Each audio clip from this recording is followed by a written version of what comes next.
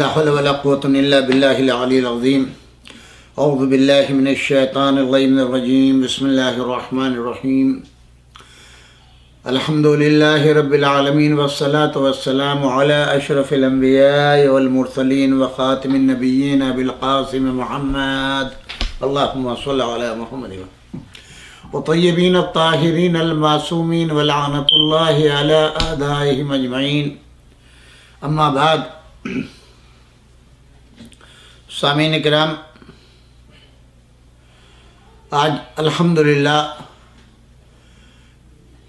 माह रमज़ान मुबारक का पहला अशरा पाए तकमील तक पहुँच रहा है और हमें खुशी है कि आज हम आपको अशर ओला की तकमील पर मुबारकबाद पेश करते हैं और बारगाह अहदियत में शुक्रगुजार हैं कि ये दस दिन अल्लाह ने हमें और आपको अपनी इतात व फर्मा बरदारी में गुजारने की तोफ़ी अता की और हमने उनके रोज़ों को पाया तकमील तक पहुँचाया और उसकी बारगाह में दुआ करते हैं कि जिस सूरत से इस अशर ओला को मुकम्मल कराया, उसी सूरत से बकिया जो दो अशरे रह गए, उनको भी परवरदिगारा पाया तकमील तक पहुँचा। और इस माह रमज़ानमबारक की जो खैर बरक़ात हैं, वो तमाम सामीन कराम के ऊपर नादिल फरमा। हम सबको इन बरक़ात व खैर का मुस्तक करार दे और हम सब के मरहूमिन की मगफरत फरमा।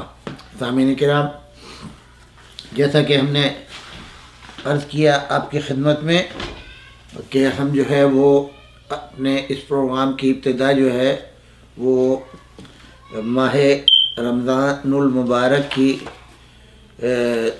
मशहूर दुआ से जो मुख्तसर दुआ है आमाल माह रमज़ान के सिलसिले में मुश्तरक आमाल हैं। उसके दुआ से हर रोज़ शु, प्रोग्राम शुरू करने की शहादत हासिल करते हैं।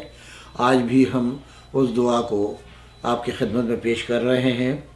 अल्लाहुम्मा सल्लि अला मुहम्मद व आलि मुहम्मद बसमीम अल्लाहुम्मरज़ुक़नी हज बैतकल हराम फ़ी आम हादा व फ़ी कुल आम माँ कैतनी फ़ी युसरिन मिन कवाफ़ियतिन वसात रिज़किन वला तखलनी मिन तिलकल मवाक़िफ़ल करीम वल मशाहिद शरीफ़ व ज़ियारत क़ब्र नबी का सलावात वाल वफ़ी जमी हवाई दुनिया वला आखिरा फ़कुन ली अल्लाहुम्मा इन्नी असलफ़ीमा तकदीब तकदर मिन अलमर महतूम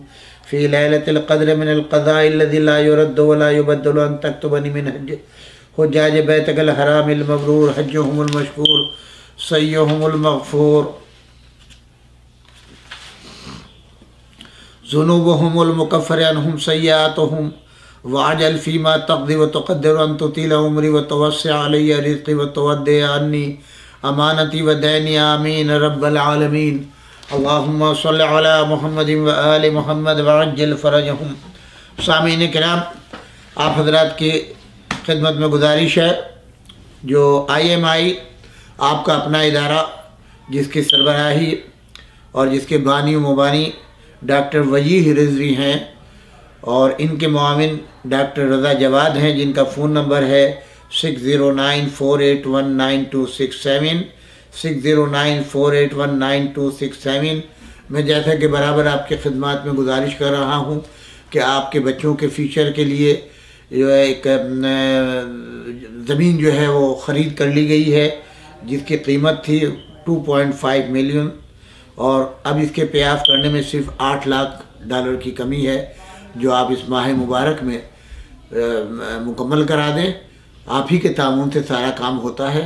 कोई काम मोमिन के ताउन के बगैर नहीं होता और कोशिश होगी कि ईद के बाद जो है तमीरत का काम जल्द से जल्द शुरू हो और आखिर में हमारे इस प्रोग्राम के एक वीडियो क्लिप होती है, जिसको आप ज़रूर मुलाहिदा फरमाइएगा। आज हम, हमारा ये प्रोग्राम जो उन 26 आयात के जैल में चल रहा है, जो एक मलून ने हिंदुस्तान में जो औकाफ का चेयरमैन रह चुका है और उसने जो है वो चैलेंज किया सुप्रीम कोर्ट के अंदर कि ये जुज़ कुरान नहीं है, बल्कि ना ये वही के ज़रिए आया है, ना हजूर अक्रम सल्ला वसम ने कुरान में इसको लिखवाया है, बल्कि बाद वफ़ात पैगंबर ये सब का सब कारनामा अंजाम दिया गया और इन आयात को तैयार करके दाखिल कुरान कर दिया गया, जिसके सबब से मुसलमान गुमराह होते हैं और इनके मदारिस में दहशत गर्द और जिहादी पैदा होते हैं और नुकसान पहुंचाते हैं दुनिया को। लिहाजा इन आयात को कुरान से अलग किया जाए। बहरहाल, हर एक का अपना अपना मतम नज़र है, लेकिन ऐसे बंदे को अपने को मुसलमान नहीं कहना चाहिए। इसलिए कि मुसलमान वो होता है जो कुरान के एक एक लफ्ज़ के ऊपर यकीन रखता है, रसूलुल्लाह की सदाकत व अमानत पर यकीन रखता है। अल्लाह की वैधानियत पर यकीन रखता है। जहाँ तक हम शीयों का ताल्लुक़ है, हमारा ईमान मुकम्मल इस बात पर है कि दो दफ्तियों के दरमियान जो कुरान मजीद पाया जाता है बिसमीम से लेकर वन्नास तक सूर्य वन्नास की आखिरी आयत, आखिर कलाम में, उस तक इनमें जितने कुरान की आयतें हैं, जितने ज़बरदेर पेश और नुकात हैं, ये सब के सब 114 सूरों की शक्ल में है। जिन पर हमारा ईमान कामिल है, इनमें एक लफ्ज़ न कम हो सकता है, न ज़्यादा हो सकता है, और न किसी बशर में यह क़वत व ताकत है, जैसा कि ख़ुद कुरान दावा कर रहा है, अगर कुल जहान के जिन्नों इंस भी मिल जाए, तब भी इसका जवाब नहीं ला सकते। अल्हम्दुलिल्लाह, हमने सूर्य बकर सूर्य आल इमरान सूर्य नसा सूर्य मादा को मंजिल तकमील तक पहुँचाया था। और कल हमने सूर्य अनफाल की आयत नंबर 65 की तशीहत और उसके इसबाब और वज़ू खिदमत में अर्ज़ किए थे। आज आयत नंबर 69 है सूर्य अनफाल। और कल से इन सूर्य तोबा का फिर सिलसिला होगा, क्योंकि सबसे ज़्यादा आयात उसी की है। अब इससे पहले हम एक मुकदमतन वो हालात, जब नज़ुल कुरान हुआ, इस्लाम की इब्तदा हुई और ख़त्मी मरतबा हज़रत मोहम्मद मुस्तफ़ा अलैहि वसल्लम ने इस्लाम की तबलीग का बेड़ा उठाया। तो ज़ाहिर है उस वक्त जो हस्ती हजूर का साथ देने वाली थी, वो दो ही थी। एक जनाब अब्दुल मुत्तलिब और एक जनाब ख़तीजा सलाम मक्के की इस तेरह साल ज़िंदगी के अंदर ये दो ऐसे इस्लाम के पिलर थे, ऐसे रुकन थे इस्लाम के रसूलुल्लाह के, कि जिनके दिल में, दिमाग में किसी भी गोशे के अंदर ज़रा बराबर न कोई शक था, न शुबा था, बल्कि अगर जनाब अबू तालिब ने अपनी औलाद को कसम खा ली है, क़ुरबान करने की तो जनाब ख़तीजा ने जो कुछ माल दौलत था, वो सब हुजूर के कदमों में ला के डाल दिया। यह आप पर और आपके दीन के ऊपर कुर्बान है। कितने लोगों के नाम जो है आज मुसलमान नारा लगाते हैं, फ़ला गनी फ़ला गनी, फ़ला सखावत वाला, फ़ला जो है वो इतने ऊँटों वाला और फ़ला ऐसा ताजिर और ऐसा वो तारीख़ में क्यों नहीं मिलता जब तीन साल का अर्सा जो है वो शैब अबी तालिब के अंदर गुजरा है और कोई एक भी फ़र्द जो है वो नहीं आया न जनाब ख़तिया के ताल्लुक़ात की वजह से और रिश्तेदारियों की वजह से न जनाब अबू तालिब की वजह से। क्यों नहीं नज़र आते भूख के मिटाने के अंदर जहाँ उन्होंने पत्थर पेट के ऊपर बांधे और पत्ते खाए हैं उस आलम में?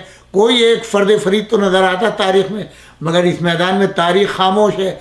ये जितने शेखिए मारने वाले और डींगे मारने वाले पैदा हुए हैं, ये सब के सब न रसूलुल्लाह की ज़िंदगी में नज़र आए, न मक्के और मदीने की तारीख़ में नज़र आए।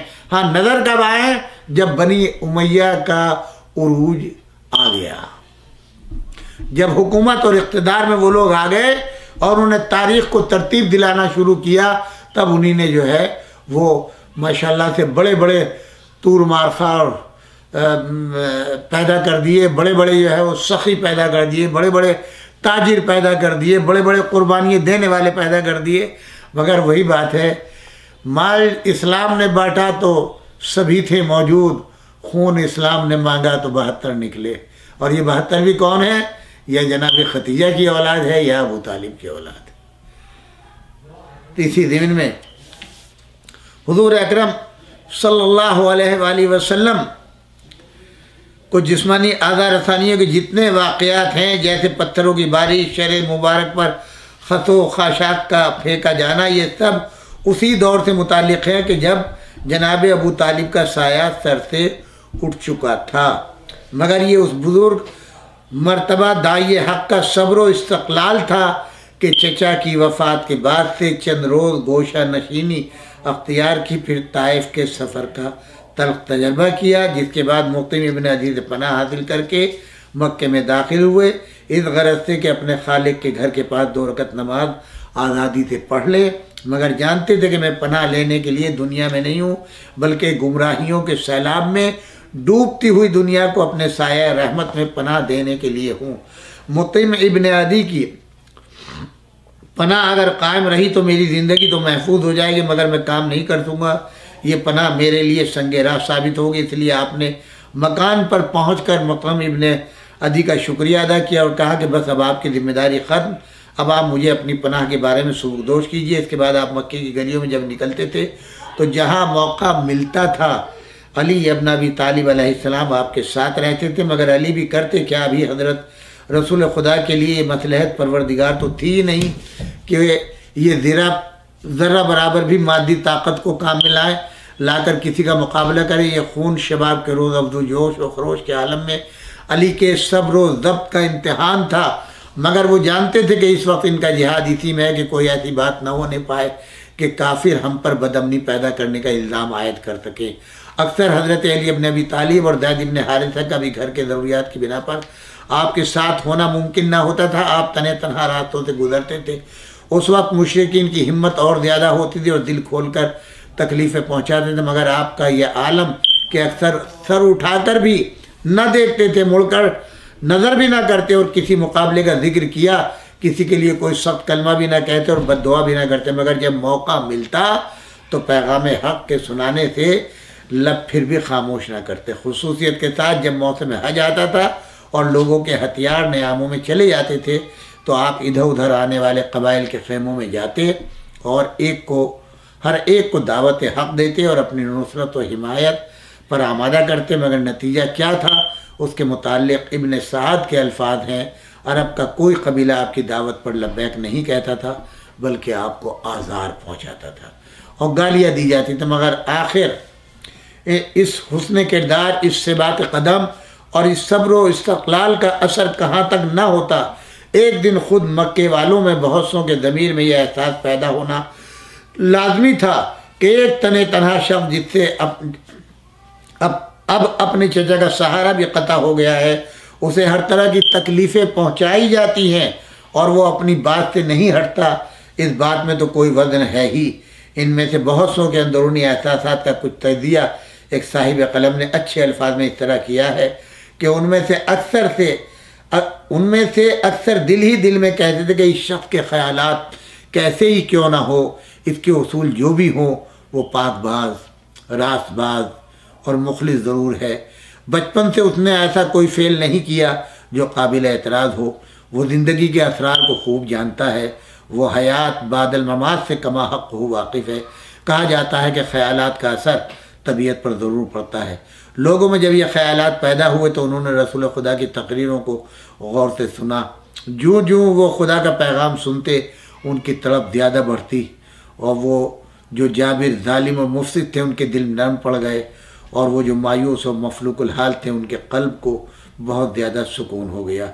मुसल मुसलमान आलम, जिल्द अव्वल, सफ़ा फिफ्टी सिक्स से सिक्सटी तक।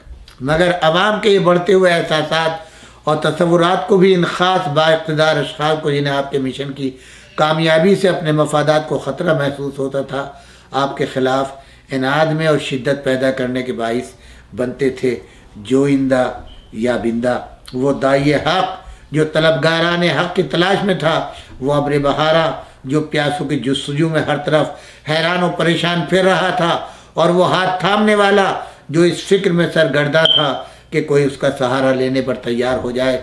आखिर कुछ ऐसे तलबगार, ऐसे प्यासे और ऐसा सहारा लेने वाले पा ही गए। तब कातिब ने साजिल अव्वल सफ़े एक सौ छियालीस छियालीस पर लिखते हैं, वो वक्त आ ही गया अल्लाह की मशीयत मुख्तजी हुई कि वह अपने दीन को नुमाया करे, अपने रसूल की इमदाद करे और अपने वादे को पूरा करे। तो उसने अपने अंसार के इस गिरोह तक पहुँचा दिया, जिसे इस इज़्ज़त से सरफराजी अता करना उसे नसीब हुई। नसीब में लिख दिया गया था। अब का मदीना मनवरा उस वक्त यसरफ कहलाता था। यहाँ पैगंबर अकरम सल्लल्लाहु वसल्लम की ननियाल थी। यहाँ के दो ताकतवर कबीले औस व खदरत थे, जो बुत परस्ती में मसरूफ़ थे। आपस में सख्त जंग व जदल भी हुआ करते थे। बहुत से यहूदी यहाँ मुद्दत दराज से बसे हुए थे, जिन्होंने अपने बुज़ुर्गों से जो तौरेत के मंदजात से वाकिफ़ थे। पैगंबर इस्लाम सल्लल्लाहु अलैहि वसल्लम के ज़ाहिर होने और इस सरजमीन मदीना पर आकर क़याम करने की बशारतें सुनी थी और वो इन कबाइल औसो खजरत के सामने उसका तस्करा करते रहते थे कि देखो, आखिरी रसूल जब इस शहर में आएगा तो तुम्हारी सब बुत बुत परस्ती ख़त्म हो जाएगी और तुम्हें हमारे सामने सर इतात खम करना पड़ेगा। उन लोगों की इन ख़बरों से अहल मदीना के जहन में भी इस रसूल की आमद का एक तस्वुर पैदा हो गया था। हज़रत मोहम्मद सल्लल्लाहु अलैहि वसल्लम मौसम हज में हर नौ वारिद कबीले के पास पहुँचने की कोशिश फरमाते रहते थे। इसी जैल में यसरफ से आने वाले अफराद की तादाद भी पहुँच गई जो उस वक्त सर मुंडवा रहे थे। इब्ने साद लिखते हैं कि आप उनके पास बैठ गए और उन्हें अल्लाह की तरफ़ दावत दी, कुरान पढ़कर सुनाया, जिस पर उन सबने अल्लाह और रसूल की आवाज़ पर लब्बैक कही फ़ौर ईमान लाए और तस्दीक पर आमादा हो गए। फिर यही लोग मदीने गए और अपनी कौम को इस्लाम की दावत दी, जिसे बहुत सो ने कबूल कर लिया। यहाँ तक कि अंसार का कोई घर ऐसा न रहा जिसमें हज़रत रसूल खुदा का चर्चा ना हो। मौरख इबन साद ने कालू के लफ्ज़ के साथ कुछ लामालूम मौरखीन की तरफ़ नस्बत देकर लिखा है कि अहल मदीना में सबसे पहले इस्लाम लाने वाले असद इबन ज़रारा और जकवान इबन अब्द कैस से वाक़ ये था कि असद इबन ज़रारा और अबुल हशीम इबन तेहान यसरब में दो ऐसे शख्स थे जो अपनी अकल सलीम की रहनुमाई से खुदा के ला शरीक होने के मुतालिक आपस में गुफ्तु करते थे। अब ये दोनों एक बाहिमी झगड़े के सिलसिले में मक्के में अतबा इबन रबिया के पास गए।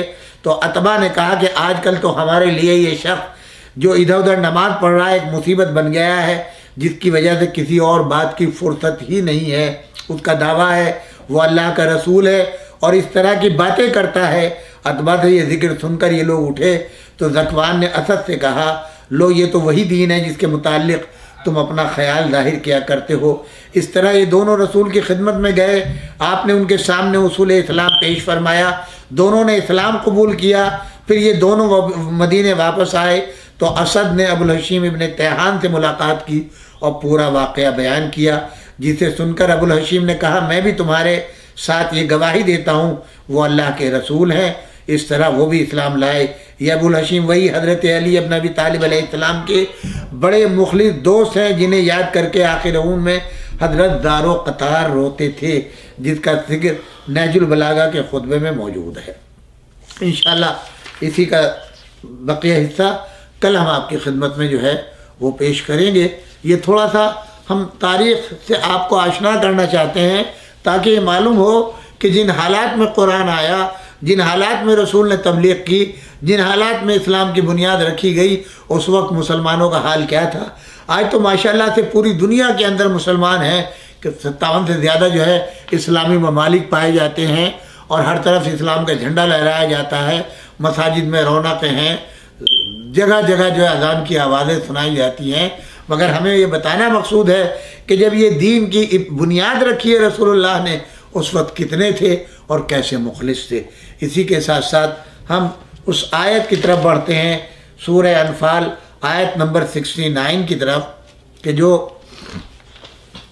इन साहब ने कोर्ट में चैलेंज की है, वो आयत है बसमीम फ़कुलू मम्मा गनिम तुम हलालन तयबन वत्तकुल्ला इन गफ़ुर रहीम। ज़ाहरी तर्जुमा यह है इसका, पर जो कुछ तुमने माल हासिल किया है उसे खाओ, कि वो हलाल और पाक है और अल्लाह से डरते रहो। यकीन अल्लाह दरगुजर करने वाला और रहम फरमाने वाला है। सुप्रीम कोर्ट इससे क्या नतीजा निकालेगा? जब तक माँ कबल, माँ बात की आयत ना, अब ये तो ज़ाहिर है, जो कुछ उसने दरख्वास्त में लिखा होगा, अब कोर्ट में अगर इस आयत का तर्जुमा किया जाए, आयत की तिलावत की जाए, फ़कुलू में माँ गनिम तुम हलाल तयबन इन गफुर रहीम तो इससे कौन सी दहशत गर्दी कोर्ट की समझ में आएगी जो ये साबित करना चाहते हैं? कौन सा जिहाद समझ में आएगा? ये तमाम चीज़ें, असल वाक़ ये है, ये जिस चीज़ को वादे करना चाहते हैं, यहाँ पर चूँकि माल गनीमत जो है, गनीमतुम में माल गनीमत आ गया है और माल गनीमत कब आता है? जब जंग होती है, लड़ाई होती है, या लूटमार हो जाए। ख्याल फरमाया आपने? तो यहाँ ये दूसरी अकवाम को मुसलमानों के ख़िलाफ़ भड़काना चाहते हैं। ये दूसरों के हाथों में खेल रहे हैं। दावा इस्लाम है, सैयद है, नकवी रिजवी है, सब कुछ है। मगर जो काम कर रहे हैं नहीं मालूम किस एजेंसी के लिए काम कर रहे हैं, किन अफराद के लिए काम कर रहे हैं। सब, माशाल्लाह साहिब अकल फ़हम सब जानते हैं कि आखिर इनकी मुराद क्या है।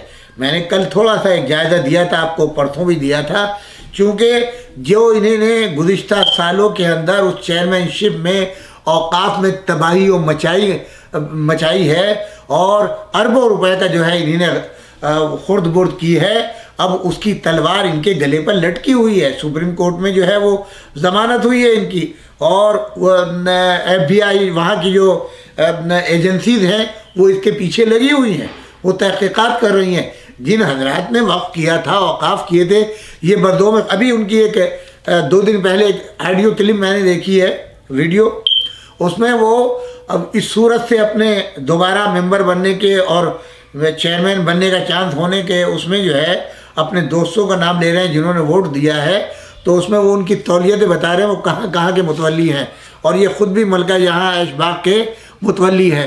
तो ये चैलेंज कर रहे हैं, भाई मुतवली होना और है, मिल्कियत और है, आप मालिक नहीं, खिदमत गुजार हुए। ये आपके जहन में कहाँ से आ गया? क्या आप मालिक हो गए लिहाजा? जो चाहे आप हुक्म चलेंगे। आपको उस वक्त की हिफाजत का जिम्मेदार करार दिया गया है वक्फ बोर्ड की तरफ़ से। और ईमानदारी के साथ एक एक पैसे की हिफाजत और एक एक इंच ज़मीन की और एक एक रत्ती मिट्टी की हिफाजत आपका ज़िम्मा है। आपके जहन नाकिस में ये बात कहाँ से आ गई? आप इस सूरत से गुफ्तु कर रहे हैं कि जैसे आप इसके मालिक व मुख्तार हों, लिहाजा यहाँ मुर्दे अपने मत लाना और यहाँ ये ना करना और फला करबला में आप होश के नाखून लें। आपने पढ़ा भी है, आप इस काबिल है ही नहीं कि आप किसी वक्त के मुतवली बन सकें। इसके लिए तो मुतदयन होना ज़रूरी है, मजहबी होना ज़रूरी है, ज़ाहरी शक्ल भी इस्लामी होनी चाहिए। आपकी तो ज़ाहरी शक्ल भी भाई वो नहीं है। खुदा के लिए ये तो ज़रा सोचें सही, आप किस घमंड में बैठे हुए हैं? अल्लाह को गुरूर व तकबर पसंद नहीं है। फ़िरौन का हाल देख लो, नमरूद का हाल देख लो, शद्दाद का हाल देख लो, कारून का हाल देख लो, और अभी मौजूदा हालात के अंदर सद्दाम का हाल देख लो। और देखना कितने फुट टूटेंगे इसी दुनिया के अंदर नाम इबरत बन जाएगा। अब भी तुम्हारे लिए मौका है, तौबा करो। कुरान के अंदर इसीलिए अहकाम बयान किए गए हैं। वाकयात को बयान किया गया है इनसे तुम सबक हासिल करो। मगर कहाँ है बंदे? कितने दिन की सांस है? कितने दिन की ज़िंदगी है? कल इसी मिट्टी में मिल जाना है हर बंदे को। कहाँ की दौलत, कहाँ का अहदा अगर कोई चीज़ काम आएगी तो सिर्फ़ आखिरत में। विलाय आल मोहम्मद और विलाय आल मोहम्मद से पहले, जब तक ईमान ना हो तो विलाय आल मोहम्मद कहाँ से काम आ जाएगी? जब तक अल्लाह पर वहदानियत पर यकीन ना हो, रसूलुल्लाह की रिसालत पर यकीन ना हो, कुरान पर यकीन ना हो तो विलायत कोई फ़ायदा नहीं देगी। विलायत से पहले अल्लाह की विलायत के ऊपर यकीन हो, उसकी वहदानियत पर यकीन हो मोहम्मद वसल्लम की रिसालत विलायत पर यकीन हो, फिर कुरान की हक्कानियत के ऊपर, सिदाकत के ऊपर, इसकी विलायत के ऊपर यकीन हो, तब मौला अली की विलायत काम आएगी। इससे पहले इन मजानिल मनाजिल को जो है, वो तय करना है। तो मैंने इस आयत को पेश किया कि तुम जो है, वो खाओ पियो। इस आयत की तफसीर में जंग बद्र में लश्कर क़ुरैश के जो लोग गिरफ़्तार हुए थे, उनके मुतालिक बाद में मशवरा हुआ कि उनके साथ क्या सलूक किया जाए। नबी अकरम सल्लल्लाहु अलैहि वसल्लम ने को, बहुत से लोगों ने मशवरे देने की कोशिश की। उसमें कहा गया कि इनसे फिदिया लेकर के इनको छोड़ दिया जाए। इस पर अल्लाह ताला ने ये आयात बतौर एताब नादिल फरमाई। मगर मुफसरी ने आयत के इस फ़िक्रे को कोई माकूल तावील न कर सके कि अगर अल्लाह का नविश्ता पहले ना लिखा जा चुका होता, वो कहते इससे मुराद तकदीर इलाही है। जंग बद्र से पहले सूरह मोहम्मद में जंग के मुतालिक जो इब्तदाई हिदायत दी गई हैं, उसमें इरशाद हुआ, फ़ैज़ा लकी लकी तुमुल्लदीन कफरू फ़जर बर्रक़ाब हत्तुम फ़शुद्दुलवसाक़ा फ़इम्मा मन्नन बाद व इम्मा फ़िदान हत्ता तजाल हरब औज़ार आयत नंबर चार इस इर्शाद में हुजूर के कुरान मजीद के जंगी कैदियों से फिदिया वसूल करने की इजाज़त तो दे दी गई थी लेकिन उसके साथ ये शर्त लगाई गई थी कि पहले दुश्मन की ताकत को अच्छी तरह कुचल दिया जाए, फिर कैदी पकड़ने की फ़िक्र की जाए। इस फरमान की रूह से मुसलमानों ने बद्र में जो कैदी गिरफ़्तार किए और उसके बाद उनसे जो फिदिया वसूल किया, वो था जो इजाज़त के बग़ैर। मगर गलती ये हुई कि दुश्मन की ताकत को कुचल देने की जो शर्त मुकदम रखी गई थी, उसे पूरा करने में मुसलमानों ने उस वक्त कोताही की और जंग में जब क्रैश की फ़ौज भाग निकली तो मुसलमानों का एक बड़ा गिरोह माल गनीमत लूटने और कुफ़ार के आदमियों को पकड़कर बांधने में लग गया और बहुत कम आदमियों ने दुश्मनों का कुछ दूर तक ताकुब किया। हालाँकि अगर मुसलमान पूरी ताकत से उनका ताकुब करते तो कुरैश की ताकत का उसी तरह ख़ात्मा हो गया होता। इसी पर अल्लाह ताला ने इताब फरमाया और यह इताब नबी अकरम सल्लल्लाहु अलैहि वसल्लम पर नहीं, बल्कि मुसलमानों के ऊपर है। अब जब आप उसके बाद की आयत पढ़ेंगे तो आपको मिलेगा, या नबी कुल्लमन फ़ी अदी मिनल असरा फ़ी कुलूबकुम खैर यूतकुम खैर मम्मा मिनकुम वफ़िर लकुम अल्लाह गफ़ुर रबी रहीम ए नबी, तुम लोगों के कब्ज़े में जो कैदी हैं, उनसे कहो, अगर अल्लाह को मालूम हुआ कि तुम्हारे दिलों में कुछ खैर है तो वो तुम्हें उससे चढ़, बढ़ चढ़ कर देगा जो तुमसे लिया गया और तुम्हारी ख़ताएँ माफ़ करेगा। अल्लाह दर गुज़र करने वाला और रहम फरमाने वाला है। लेकिन अगर वो तेरे साथ ख़यानत का इरादा रखते हैं तो इससे पहले वो अल्लाह के साथ ख़यानत कर चुके हैं चुनानचे उसी की सज़ा अल्लाह ने उन्हें दी कि वो तेरे काबू में आ गए और इस वक्त गोया वो तेरे कैदी हैं। उसके बाद किया तो मैं यूरीदू ख़यानत का फ़कद ख़ानू, ख़ानुल्लाह मिन कबल फ़ाम कन मिन अल्लाह अलीम हकीम। और जिन लोगों ने ईमान कबूल किया और हिजरत की और अल्लाह की राह में अपनी जानें लड़ाई, वो अपने माल खपाए और जिन लोगों ने हिजरत करने वालों को जगह दी, उनकी मदद की, वही दरअसल एक दूसरे के वली है। तो अब यहाँ के ऊपर मैंने कल से जो सिलसिला आयत number sixty five, fifty, sixty five से जो शुरू हुआ था, अब आप इसको जो है सिक्सटी थ्री से शुरू करें और आखिर तक इन जब पूरा एक मजमून होगा तो आपके समझ में आ गया कि ये आयत जो है, जंग बदल से मुतक है, जहाँ के ऊपर अगर तुम्हारे, और इसी में चूँकि पहली जंग इस्लाम की जंग बद्र, इसी में जंग के असूल भी कुरान ने तरतीब दिए हैं कि कैदियों के साथ क्या सलूक करना है। जब लोग तुम्हें चैलेंज करें तो क्या करना है? जब तो लोग जो है, जंग में फ़रार हो जाएँ तो क्या करना है? उनके मालो इसबाब के साथ क्या करना है? ये तमाम के तमाम अहकाम इसी सूर्य के अंदर, इसी मौके के ऊपर नादिल हुए हैं और मुसलमानों को बताया गया है, किसी भागते हुए का पीछा ना करना, बगैर धोखे से किसी के पुश से हमला ना करना, वो तमाम के तमाम उसूल जंग के अगर अमली तौर के ऊपर अपनाए हैं और तालीम दिए हैं तो वो एक ही ज़ात है, मौला अमीरमिन अली अभी तालिब। अलैहिस्सलाम अगर ऐसा ना होता तो जब जंग खंदक के अंदर अमर को सर, के सर को कलम कर लिया, और ये लोग चार अफराद आए थे, और जब दूसरे वहाँ से भागने लगे तो असाब में से जिनमें एक हैबत अमर की तारी हो गई थी, और तारीख कहती है कि ऐसे लोग सर झुकाए रसूलुल्लाह के सामने बैठे थे, जैसे इनके सरों के ऊपर तायर बैठ गए हों, और वो तायर ऐसे बैठे हुए हों कि अगर ये सर उठाएँ तो वो उड़ जाएँगे, इस तरह सर झुका लिया। कोई एक जाने के लिए तैयार नहीं था। हज़रत अली तीन मरतबा उठे, रसूलुल्लाह ने तीनों को उठा दिया। यहाँ तक कि हुजूर को कहना पड़ा, अरे ये कुत्ते के मिसल है। इसकी क़वत ताकत क्या है? जाओ, हिम्मत करो। मगर एक मुसलमान नहीं उठा। तीनों मरतबा, मौला अमीरमिन अली नबी तालिब उठे। और तारीख के अल्फाज ये हैं कि जब मौला अमीरमिन उठे हैं और जाना चाहा है तो उस वक्त रसूलुल्लाह ने फरमाया, या अली, जानते हो कौन है? अमर इबन अब्दुवद है। यानी बताना ये चाहते थे कि अमर इबन अब्दुवद का ऐसा हवा इनके दिलों पर, इनके कालिब पर बैठ गया है कि अब इनके होश व हवा ठिकाने नहीं है। तब मौला ने पलट करके कहा, या रसूल अल्लाह अगर वो अमर है तो मैं भी अली अपना अभी तालिब हूँ, मैं देखता हूँ। तब रसूलुल्लाह ने, आप देखे, क्या शान रही होगी, अपना मामा सजाया। अली के सर के ऊपर। अली का मामा खुद पहना, अपनी अबा अली के दोष पर डाली, अली की अबा अपने दोष पर डाली। अपनी जुल्फ़कार जो है, वो अली को हमैल की, अपने घोड़े के ऊपर सवार किया और अब अली मैदान के अंदर गए हैं। आप ज़रा सोचें।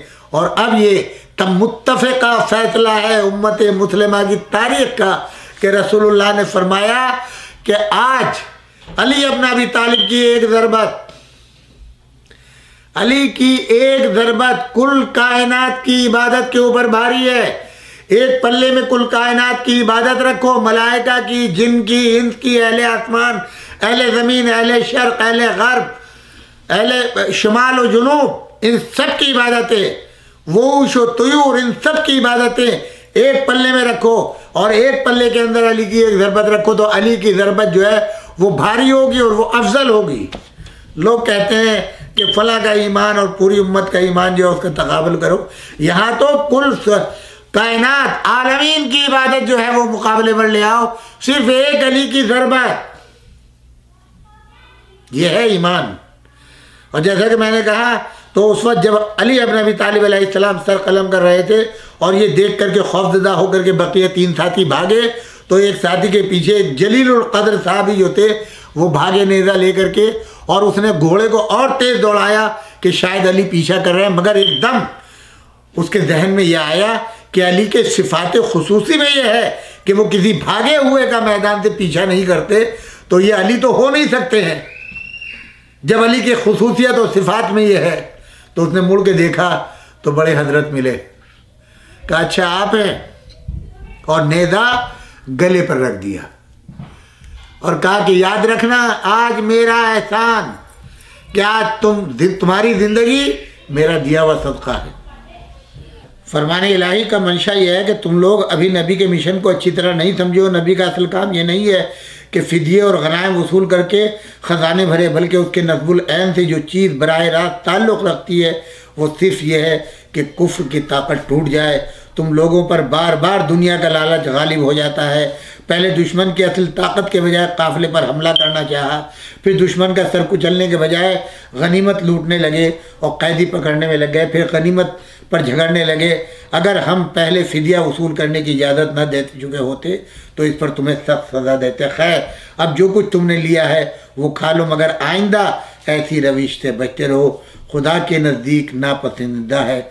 मैं इस राय पर ये अहकाम थे जो मैंने आपकी खिदमत में अर्ज़ किए कि इससे ना कोई दहशत गर्दी की तालीम हो रही बल्कि एक असूल और एक कायदा और एक कानून जो है वो बतलाया जा रहा है उसकी तरवीज बताई जा रही है। खुदा न खासा ये नहीं किसी पर तुम बग़ैर इतला के हमला कर दो बग़ैर जाने बूझे जो है दू, दूसरे को पता भी ना हो और तुम पूछते हमला करो या रात की तारीकी में नहीं होशियार करके। शजा और बहादुर शख्स वो होता है जो कभी पीछे से हमला नहीं करता, कभी धोखा दे के हमला नहीं करता। और फिर तुम अपने दिफा में, इस्लाम ने जितनी तालीम दी है, वो दिफा के लिए दी है, जंग करने के लिए नहीं दी। बग़ैर किसी उसके, किसी की लूट, मार, कब्ज़ा और माल को लूट लेना या अदियत पहुंचाना, इस्लाम में कतई तौर पर जायज़ नहीं है। वो कोई भी हो, सबसे ताल्लुक़ रखो, मगर अपना सरप्रस्त ना बनाओ। दीन अल्लाह सबसे बुज़ुर्ग है, अल्लाह सबसे बड़ा जो है वो मालिक व मुख्तार है, और ये पूरी कायनात अल्लाह की हुकूमत है।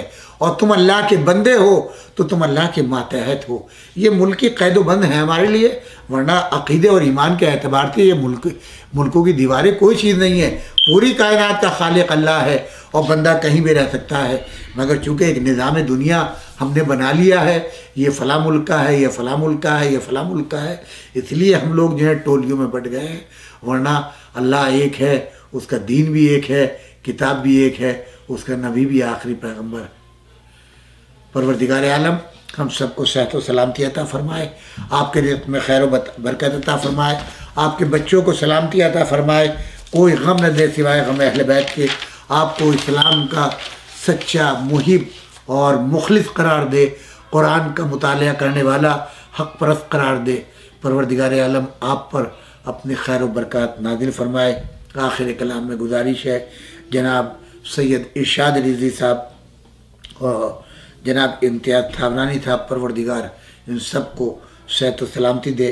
इनके मरहुमिन नासिर अली, जहरा बिनत रहीम अली मुख्तार, मोहम्मद हसन, ख़तिया बिनत रहीम अली, अबुल महदी कम्बर अली, आप सब के मरहुमिन, मेरे मरहुमिन, मेरे वालदेन, और वो इस जिन्हीं ने आपको कुरान और दीनियात की तालीम दी, उन सब के लिए एक सुर फातिहा की गुजारिश है, और खसूस तौर पर सेहत के लिए अमीरमा आयतुल्ला मौलाना सैयद हमीदुल हसन साहब कबला मौलाना मोहम्मद हसन, हसनैन मेरठी, मौलाना मीसम जैदी साहब और मौलाना मोहम्मद गाफिर साहब कबला और यहाँ पर हमारे भाई जनाब सैयद ज़फ़र नकवी साहब, शदीद बीमार हैं। और जो जो मोमिन और मोमिनत बीमार हैं और हमारे बहनों मौलाना इमरान हैदर, उनको भी करोना हुआ है। इन सब के लिए खसूस दुआ फरमाएँ। परवरदिगार करोना की बीमारी ख़त्म हो और तमाम मुहिबान आल मोहम्मद की हिफाजत हो। परचम अहल बैत में आप सबको पना नसीब हो। सूरतुल्फ़ातिहा वसलम ज़मीन वरहमल वर्का